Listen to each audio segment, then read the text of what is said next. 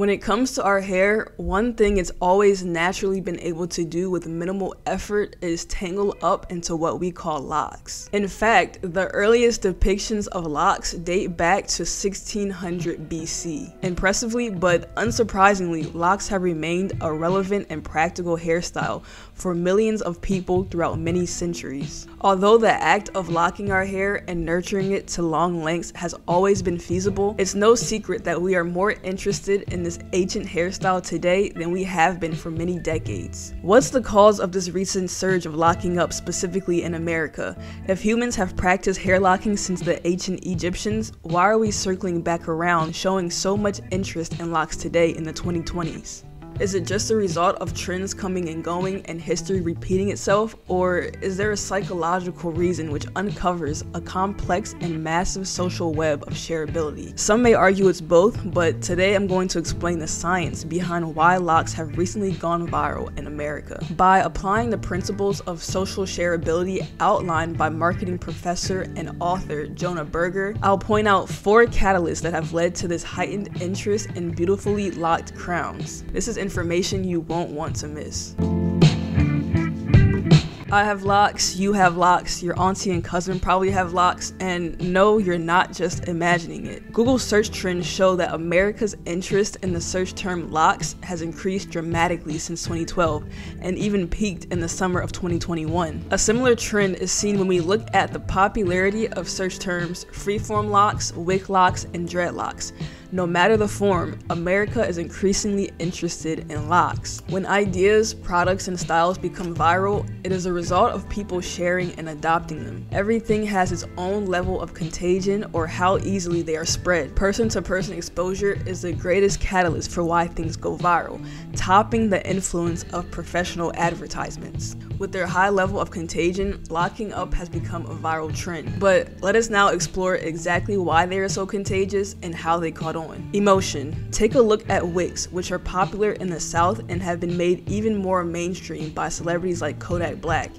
Their bold and thick form is eye-catching and unusual compared to what most people are used to seeing every day. The mere fact that freeform locks showcase untwisted roots and inconsistently sized congos inspires awe. Even the sight of a dreadhead like Chief Keef back in 2012 swinging his hair to drill music is enough to spark exciting emotion. Emotion is the first key to the popularity of this going trend. According to social expert Jonah Berger, emotional content often goes High arousal emotions like awe and anger spark action.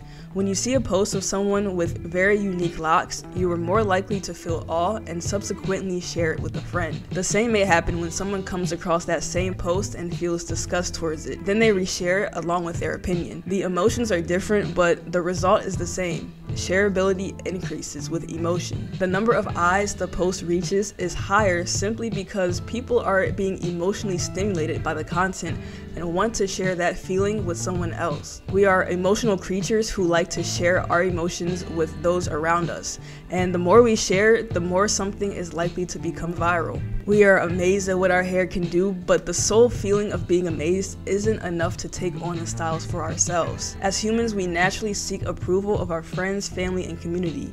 We love to appear knowledgeable and in the loop. That means we love to share and do things to prove that we have what is called social currency. Social currency makes people feel like insiders. When people have or know something that is seen as desirable or cool, they have a tendency to want to make it known to others. Sure, you may know about the benefits of freeforming and the enlightenment that can come with it, but growing freeform locks and posting content about them on the internet makes your knowledge known to the world.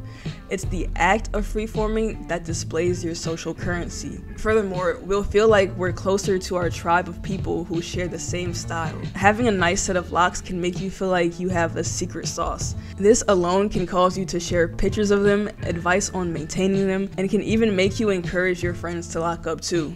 Humans desiring kudos in the form of social currency is just one reason why locks have exploded in popularity. Stories. The story behind things is usually enough to carry that specific thing from person to person. The story that has met the ears of almost every black person in America is the story of another black person being punished or denied opportunities simply because they had natural hair like locks or braids. Think about the seven year old sent home from her private school in 2013 for not cutting off her locks, or the teenager in Texas denied a job at Six Flags in 2016 and told to come back when he didn't have locks. The story that made even more headlines was the US court ruling in 2016 that decided it was not illegal for jobs to have a no dreadlock policy in the hiring process. These events are examples of highly shared stories. Even though the themes of the stories were focused on discrimination and unfairness, the stories acted as vessels which carried locks into the forefront of the public's mind. It was by accident that the idea of locking up gained more publicity, but the stories that carried locks into fame were an integral part of their rise.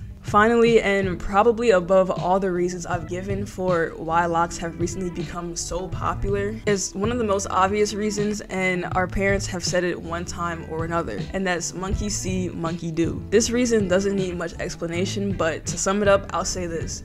When something is public and easy to see, it is easily adopted by other people.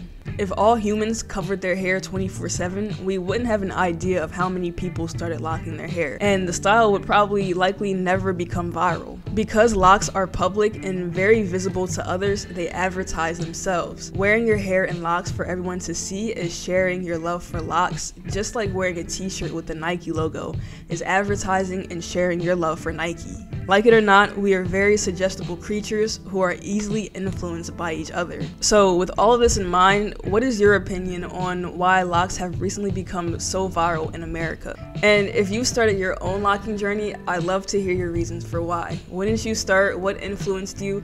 And what keeps you going every day? As always, thank you so much for watching, and I'll see you in the next video. Alright, bye.